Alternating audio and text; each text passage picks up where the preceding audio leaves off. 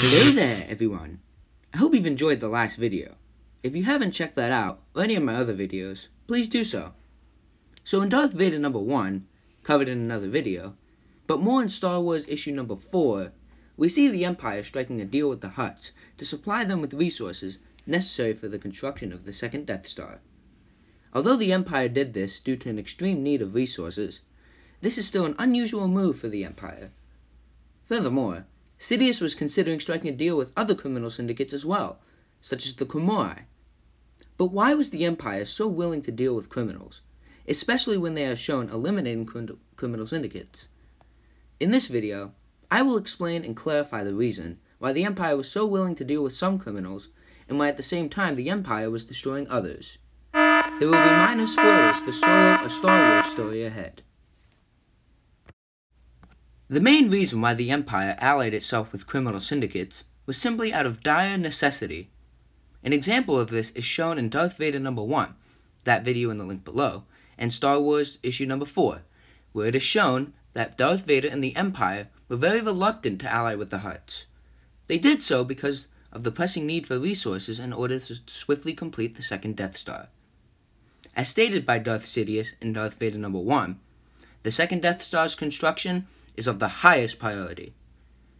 Due to the high priority of the second Death Star's construction, the Empire conceded and struck a deal with the Hutts.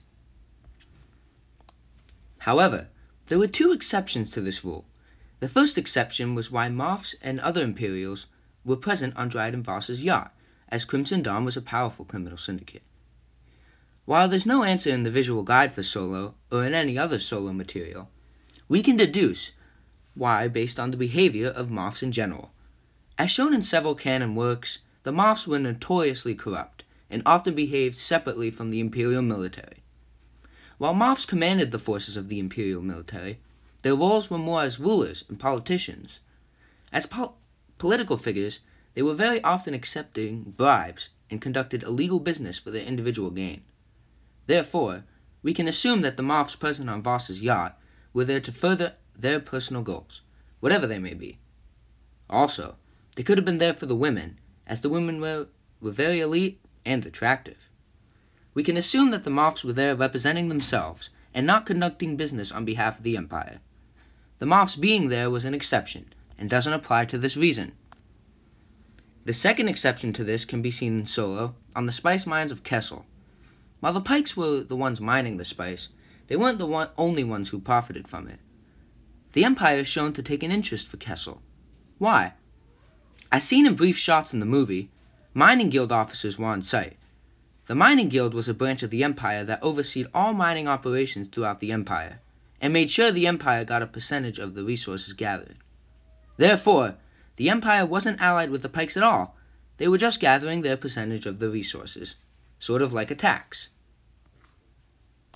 If the Empire allied itself with criminal syndicates out of necessity, then why were they actively destroying some while leaving others alone? Firstly, the Empire simply didn't have much time or resources. In the first 19 years of the Empire's reign, the main focus was building the Death Star. This meant that once the Separatist holdouts were eliminated, gathering resources was the top priority, not criminal syndicates. Therefore, they eliminated only certain syndicates, ones that wouldn't put up much of a fight, such as the Sun Told Pride and Dr. Aphra number 19. Secondly, the Empire only actively destroyed criminal syndicates, particularly the bigger ones, only if they were a direct threat to them.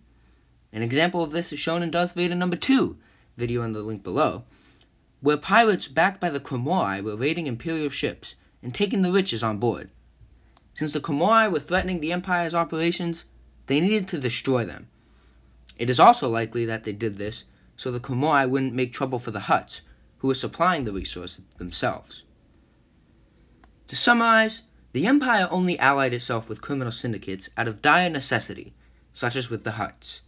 Moffs on Vos's yacht and Imperial's mining guild officers on Kessel were exceptions, and they weren't allied with the criminal syndicates at all. The Empire only destroyed criminal syndicates if they were directly threatening their operations or if the syndicate would put up no fight. But what do you guys think of this? Was the Empire wise to ally with only certain criminal syndicates? Should they have more actively destroyed them? Let me know in the comments. I will respond. Also, subscribe, subscribe, subscribe.